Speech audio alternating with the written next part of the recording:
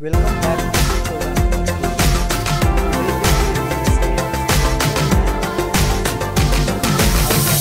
the structure yeah its individual members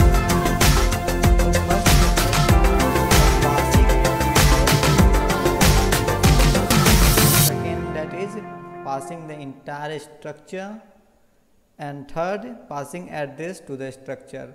And uh, all three method we will study in consecutive lecture. So today we will study about passing individual member. It means that suppose we have a structure s and inside x we have a, its member as x and y. And I want to pass a variable x to a function.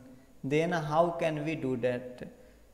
Suppose this function is of sorry this member is of integer type type integer. So to pass this function we need to just use the object name. Suppose object name is s1 and use dot operator. And I, we will pass this in a function. Suppose our function name is f and at receiving point means in function declaration it it must receive argument as integer.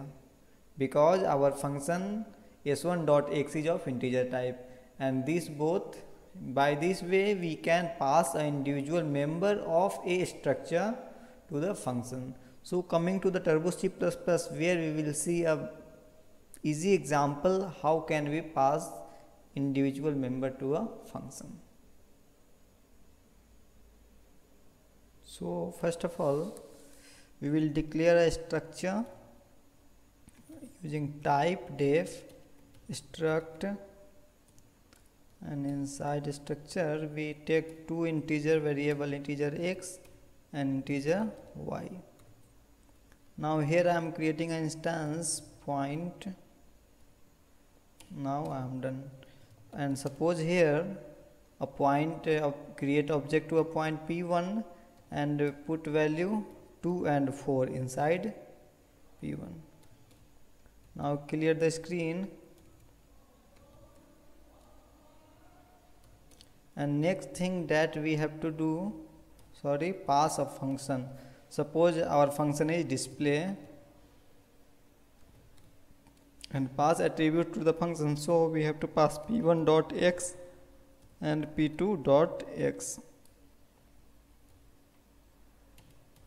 This is calling function. Calling function. And next I am going to take a